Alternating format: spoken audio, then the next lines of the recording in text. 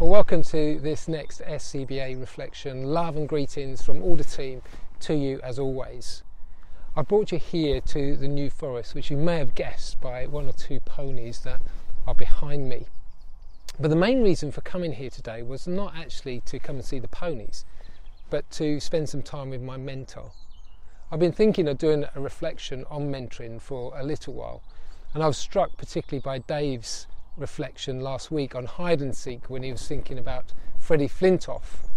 And, and at the end of that reflection, he encouraged us to seek out people that we journey with. I think it's such an essential part of our ministry to have people that we can that can support us, that can pray for us, that can encourage us. I'm struck particularly by the passage in Ecclesiastes uh, where the writer says this Two are better than one because they have a good return for their labour. If either of them falls down, one can help the other up. But pity anyone who falls and has no one to help them. Also, if two lie down together, they will keep warm. But how can you keep warm alone? Though one may be overpowered, two can defend themselves. A cord of three strands is not quickly broken. Many re- refer to this passage when they talk about marriage, but actually, this passage is about friendship. It's about journeying together, it's about supporting each other. It's a mentoring passage.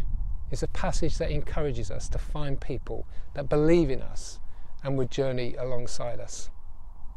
So, what I wanted to do is to share with you on this occasion a, a poem or some words that I wrote for the 2019 Leaders Conference.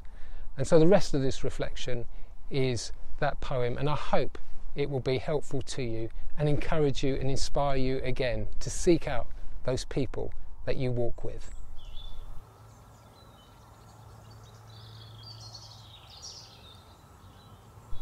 It's not good for man to be alone. Words from our beloved designer of significance and wisdom, spoken over his highest creation and friend, a man they call Adam. Words spoken over all who will follow after the one who was before, so that we might know that alone we are less, but with we are more.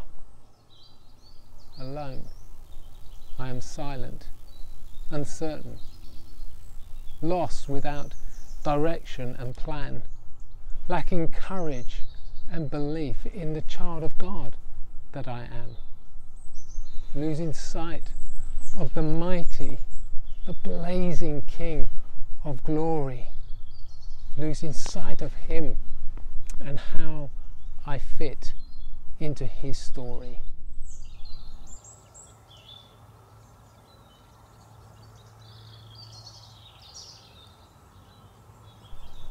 So, why would I consider opening up my soul? To allow another person to discover that I'm really a fool, to reveal my deepest disappointments and uncover my unseen frown, to release the imprisoned person and to let loose the embarrassing clown. Why would I offer myself to another in a fragile, vulnerable state? to open my life for comment and critique over a thousand mistakes, to admit my fear and to be found out, that I'm full of excuses, fear, deceit, and doubt.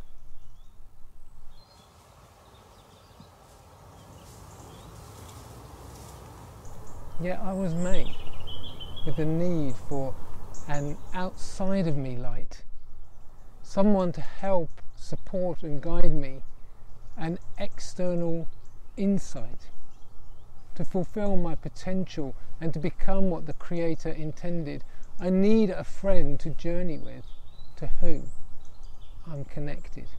The companion, the believer, the confident, the humble intention, the comment, the correction, the suggestion, the Spirit's direction, the listening, the smiling, the disagreeing, the one who is praying, the wisdom, quiet leading, the confession, the iron, sharpening iron.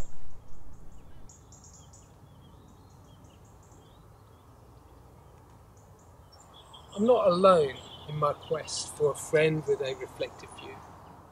Adam, Moses, Elisha, Peter, Saul, just, just to name a few.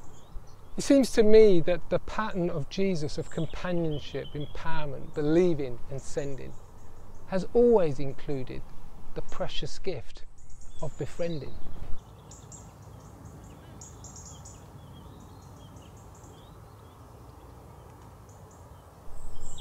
Together, we can go further, wider, and deeper. Becoming aware of self and practice and awakening the sleeper. Refusing to settle on what has been done in the past, but instead arising to the new challenge of the next God given task. So let's stand together alongside our brother and sister, sharpening each other minister and leader for the glory of God who gave us his Son. Let's covenant together until his work's done.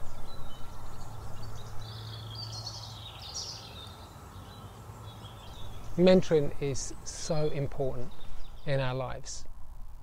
If you'd like to know more about how to find a mentor, please just uh, pick up the phone or drop us an email talk to your regional minister or come direct to me and we'd love to help you find someone that can journey alongside you.